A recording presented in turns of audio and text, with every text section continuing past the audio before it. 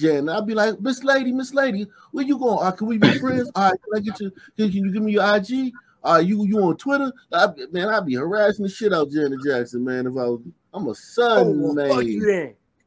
Yeah, and then y'all be like, and then and and, I, and I, like no cap though, I might hit literally though. Straight up. That's what I'm saying. Like you, you know this. If you swing, listen, if you bat 300, you're an all-star. You know what I'm saying? I'm a son, man. Yo, I can if she says no, you breaking can just news beat her unfolding in ass. You know? Southeast DC Right. that you need to know about. Less than two hours ago, police confirmed a man died after being shot. You're looking at some new video from the scene on 12th Street. Now, police haven't said who pulled the trigger or what led up to this. Sadly, this marks DC's 203rd homicide of 2022. Now, the DC Police Union says this is the first time in two decades that more than 200 people were killed now, two years in a row. The union chairman is criticizing the You got um, you got feedback, Cole, son. Uh, hold up. man. Or you guys just drop that feedback, man. But yeah, um, this is the first time in 20 years they said that two 200 people been killed two years in a row. Like it's getting worse, man. It's getting worse. two decades that more than 200 people were killed now, two years in a row. The union chairman is criticizing the council for overhauling the criminal code and putting in measures that he says stops officers from doing their jobs.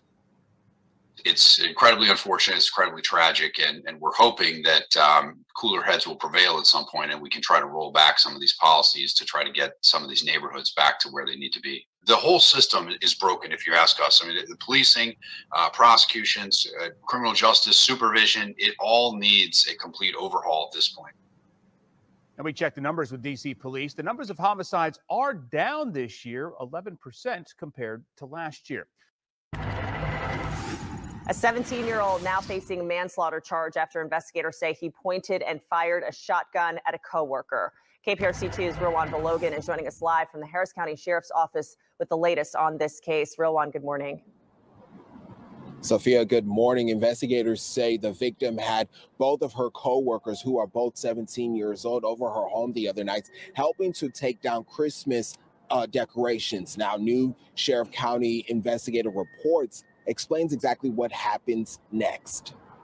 Family identifies the victim of an overnight shooting on Beaumont Highway near Crosby as 19-year-old Marissa Dykeman. What we know right now at this point is that the female who lives at the residence was um, with two co-worker, two male co-workers, taking down Christmas decorations. Sergeant Greg Pinkins with the sheriff's office said at some point, one of the two 17 year old co workers got a hold of a gun.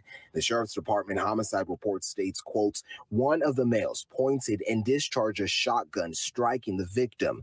Dykeman was pronounced dead by first responders. Authorities identified the male as 17 year old Cayman Wilson.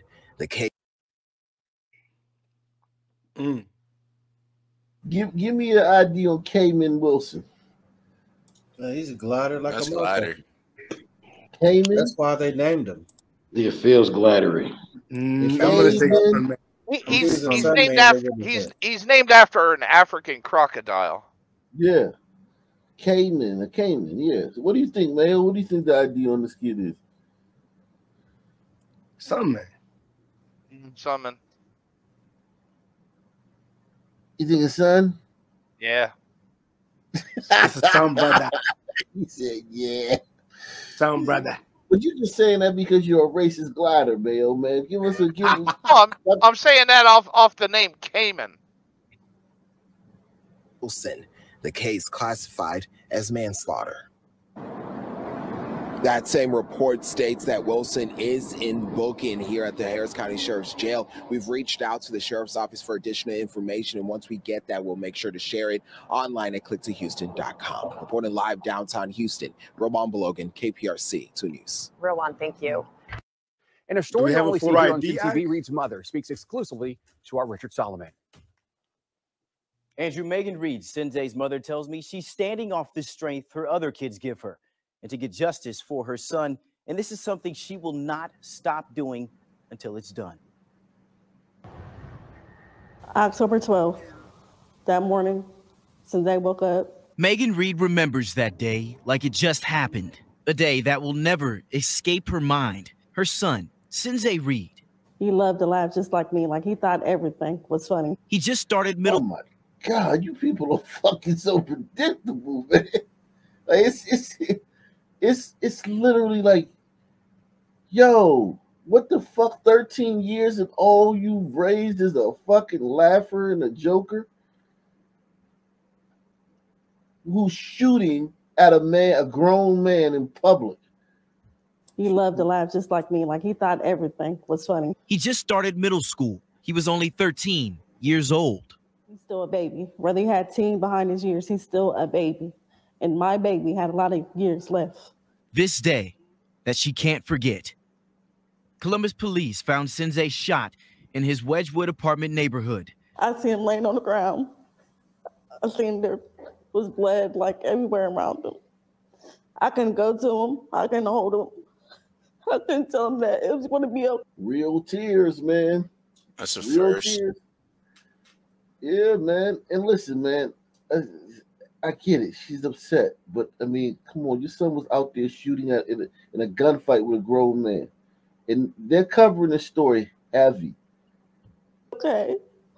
Police arrested 36 year old Krieg Butler that next day. Court records from October show that Butler was charged with murder in municipal court. But day This is why this story. This is why this a teen getting killed in Blackistan is such a big story.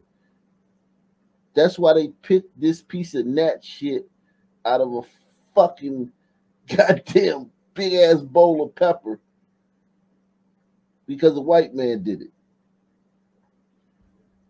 days later, the charges against him were dismissed, and prosecutors have not yet refiled charges in the common pleas court. According to the prosecutor on the case, the case is still under review and pending further consideration. In a statement from Franklin County prosecuting attorney Gary Tyack, he said, quote, it is standard practice for almost every felony case filed in municipal court to be dismissed. Further saying, this particular case is still under review for possible presentation to the grand jury. But it has not been presented as of now. And now, months later, community members and activists are raising concern, asking about the investigation. And the mourning mother is vowing to fight for justice. There's been a lot of babies that have been shot down, gunned down, and nothing has happened. Yeah, because they were all shot down by black people. Straight up. And listen, you know how right he has to be in to be a glider and not being hanging from a tree right now? Like he has to be very right for them to do this. And the only reason they even leaving that statement up is because they got to say something. Yeah. Salute to Margaret G, man. Salute to Margaret G. She said, "Have a sunny new year." Uh, uh. Salute to Margaret G.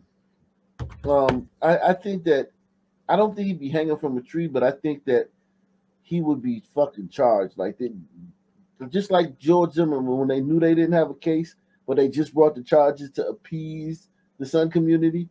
Just like with um Michael Brown, when they just brought the charges to appease the Sun community.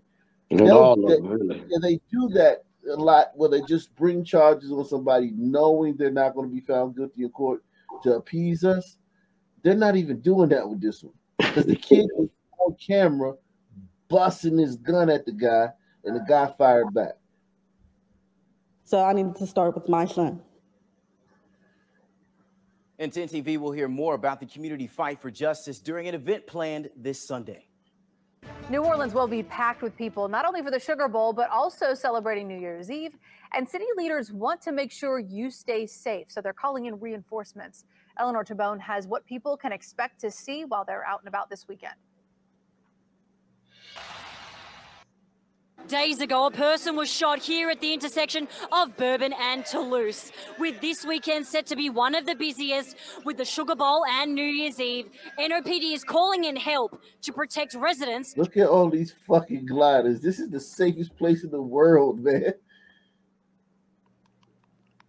The only thing, think about it.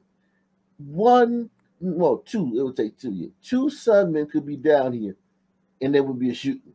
Two sunmen who didn't know each other. One could come from one could be coming this in this way, one could come in that way. And if at some point during all this shit, those two sunmen cross paths, it would be a shooting down there. That's sick, man. and tourists. We have a heavy foot vehicle and traffic um, presence in that area and around the quarter. Interim Police Chief Michelle Woodfork says NOPD is beefing up its patrols as the know that city's was the population swells. Yeah, remember they just remember we did the story on her the other day. She she the other the black dude um resigned. He couldn't take it no more. And they they named her. Is NOPD is beefing up its patrols as the city's population swells this weekend. More than 250 additional officers and 25 state troopers will patrol the French Quarter and downtown this weekend. Folks out there um, who are violating with weapons or any other um, crime, we're going to take police action. We're going to um, do what we have to do. New Orleans is on track to be the deadliest city in the nation this year. From just Wednesday to Thursday this week, there were at least 10 shootings and one person died. The OPCD has elevated to level two staffing. That means that we have doubled our staff at 911 to handle these calls. But some tourists are completely unaware of the city's spiraling crime problem. Two days ago, one person was shot at this intersection right here. Does that concern you? Yeah, I didn't know about that, but Yeah, I'm a glider, man. We just don't do these type of things. I mean, we, we come out, it could be a trillion of us out here in the streets all drunk. And nobody else Yeah. hey man, I'm gonna be real with you, Ak. When you show these videos, my the sun man come out of me, and I be looking at him. I'm like, man, that's a target. That's a mark. That's a mark. I can get something quick from that person. Yeah, man. Yeah, man. These are all victims, but this guy, he he he can't believe that. Like, what do you mean somebody shot here? What, what are you talking about? There's all this fun going on. We're just drinking, hollering at bitches. What's going on? He, he's expecting to see teddy bears and candles on the corner if somebody got shot. Straight up. Completely unaware of the city's spiraling crime problem. Two days ago, one person was shot at this intersection right here. Does that concern you? yeah, I didn't know about that, but yeah, it's kind of concerning. Others say they'll be very vigilant while in town. I'm a tourist from Boise, Idaho, but I have been reading about it. Boise, Idaho, man, you got a lot to worry about. Y'all had four whole murders this year, last year, man. and we about to talk about all four of the murders y'all had in a minute. you know, we about to talk about the four murders y'all had in y'all city, in y'all in y'all state, man. In one minute, we coming up. Uh, give me, give me like five to ten minutes. We gonna get into the boy, to the um, Idaho thing, um, University of Idaho. New Orleans being the most dangerous city in the United States. It makes me more cautious. One visitor says he's planning to move here, but says it comes with risks. I would like to carry something to protect myself. You know, it's a tragedy that's the case. Revelers are also urged not to drive drunk, and officers will be watching the roads this weekend. Eleanor Tabone, Eyewitness News. Hey, I, I looked up Keenan. New Orleans will Wilson's, be uh, packed with people. Not You got Cayman Wills put it in the back chat. I think somebody He's a put it glider. in the back already. A Oh, it's a whole glider? glider. A whole Yeah, he's a glider. Ah, thank you. The mail was wrong, man. Who thinks this guy? glider. I- I see- Well, it, it is negligent. He's being charged with neg- negligent manslaughter. So Just Yeah, 'cause as he's a well. glider. He's a black man. They'd be fucking charging with um, triple murder. They throw him under the prison. Yeah, M- murder, capital murder, man. But li- listen, who thinks this guy's gonna draw down on the Sun Man if he sees the Sun Man looking at him funny? Never. That's a free weapon right there. No, I think he's. Let's- I let's think he's actually might, might be a trigger happy as Yeah. uh, glider. You never He might know. just be Yeah, I shooting- that. He might just be. that, that's shooting New Orleans Bernie Goetz right there, man. exactly. There's not enough of those trigger happy gliders. He might be a marksman. Now you know these gliders. Looks and be deceiving. Not this guy. to be deceiving. I don't know because he was the first. He's the only, he's the one person to even bring. He's the one person to bring up. You know, he think it'd be good if he can carry something to protect himself. True. Very true. Yeah, the would fact like that to he said carry it. something to protect myself. Yeah, he thinks a lot about that shit. Yeah, but what, what's the point of having it if if if if if you're not like you gotta we like we talk about all the time like yo you gotta be like instant. You gotta be Billy the Kid with that shit. You gotta be Doc Holliday with that shit. Ringo. Mayo among Mossy on that. Yeah. Gotta be It's Johnny Ringo. a tragedy that's the case. Revelers are also urged not to drive drunk, and officers will be watching the roads this weekend. Eleanor Tabone, Eyewitness News.